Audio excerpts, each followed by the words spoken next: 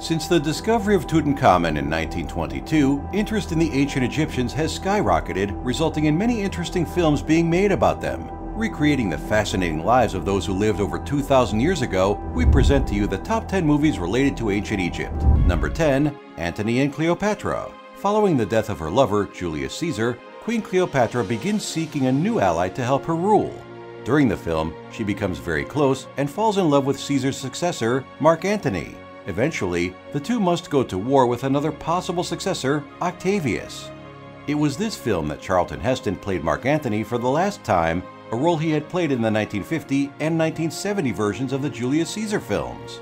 Number 9. The Extraordinary Adventures of Adele Blanc-Sec. This French fantasy adventure follows Adele Blanc-Sec as she explores the Great Pyramids, fights thieves, avoids the police, and takes down monsters. On release, the film was met with positive reviews and was later adapted for English audiences. Although the film is based on a comic book series of the same name, much of it was changed to be more appealing to fans of the big screen. The stunning shots of Cairo and its impressive CGI make this film both beautiful and epic in equal measure. Number 8. Abbott and Costello Meet the Mummy. The 50s was rife with comedy spoofs based on popular genres of the time. In Abbott and Costello Meet the Mummy, we see the legendary comedy duo get stranded in Egypt, while there, they overhear about a princess's treasure and the mummy guarding it. After comically being landed with a cursed medallion, the two go on an adventure to get rid of it. The film was the last film the duo made for Universal Pictures. Sadly, the popularity of the two waned soon after. The next film they did was also their last, an independent movie called Dance With Me Henry.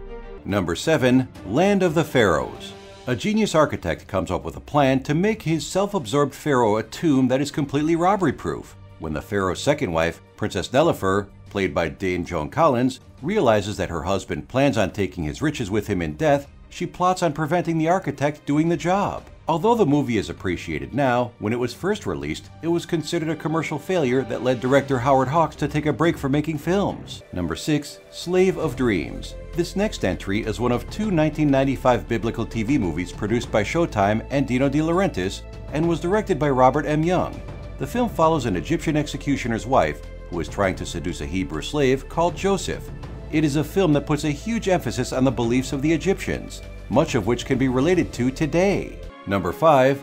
Agora. Filmed at a location that is no stranger to movies set in ancient times, Fort Ricasoli in Malta was also used in Caesar, Helen of Troy, and Troy. In fact, the set was constructed in the very same spot where the Colosseum was built for the 2000 hit Gladiator. Agora is set in Egypt at a time the Romans were occupying it. It follows a slave who tries to get his freedom by using his beliefs in Christianity and the relationship he is building with his mistress, Hypatia of Alexandria. Number 4. Asterix and Cleopatra. Our next entry comes in the form of a Belgian animated cartoon.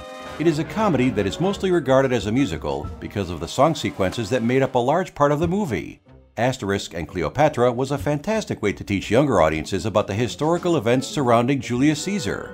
The Asterix warriors, who were the main characters of the film, were established in the long-running comic book series beforehand. Number 3. The Mummy The Mummy is a remake of the 1932 version starring horror legend Boris Karloff, in which a cursed high priest, Imhotep, is accidentally awakened by a librarian and her older brother. The two struggle to deal with a reanimated mummy and must recruit others to help them succeed. Let's face it, The Mummy recreates ancient Egypt in a fun and exciting way. Starring Brendan Fraser, Rachel Weisz, and John Hannah, The Mummy was a huge success, amassing over $416.4 million worldwide against its production budget of $80 million. It was praised for its incredible soundtrack and its special effects. Number 2. The Prince of Egypt in this animated musical movie that was produced by DreamWorks Animation and released by DreamWorks Pictures, The Prince of Egypt covers the life of Moses as described in the Book of Exodus. Although the film accurately depicts certain elements of the New Kingdom Egypt, some Egyptologists believe it contains an array of historical inaccuracies. The film grossed over $218 million worldwide in theaters, which made it the most successful non-Disney animated feature ever. The song, When You Believe, went on to be covered by both Whitney Houston and Mariah Carey and was awarded the Best Original Song at the 71st Academy Awards. Our number one pick is Cleopatra.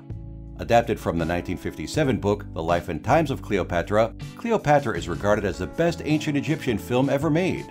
Despite its global success and being held in such high regard, the film notoriously ran into many problems.